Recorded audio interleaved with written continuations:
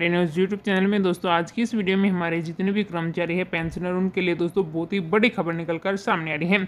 जी हाँ दोस्तों, महँगाई बता जो एरियर है, उसको लेकर सरकार ने क्या कुछ कहा है, वो हम आपको इस वीडियो के माध्यम से डिटेल से बताएँगे।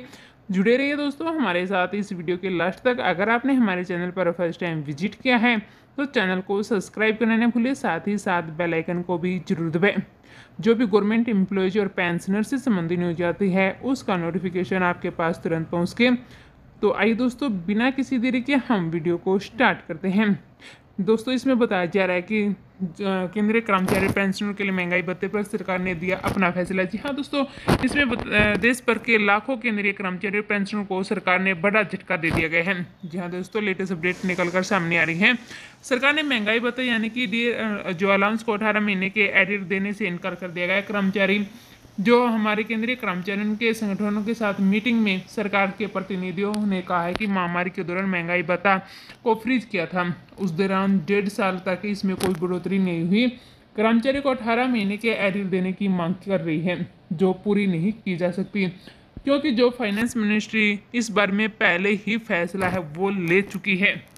Standing committee of voluntary agencies यानी कि इसके जो पद की नई दिल्ली के सरकार पटेल भवन में ministry of state for pensioner और पार्लियामेंट अफेयर्स के साथ मीटिंग हुई थी और इस बैठक में सकुआ ने मांग की थी कि सरकार 1 जनवरी 2020 से 30 जून 2021 तक के महँगाई भत्ते का एरियर दे।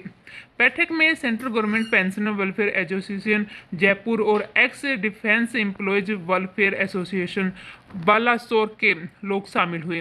उन्होंने केंद्र सरकार से अपील की कि जो उनका एरियर है, वो दे दिया जाए। बैठक में बताया जा रहा है कि दोस्तों, केंद्र सरकार ने 1 जुलाई 2021 से महँगाई भत्ते और महँगाई रात को भले ही 11 फ़ीसदी की बढ़ोतरी का तोहफा दिया हो, उन्हें 18 महीने का एरियर भी देना चाहिए।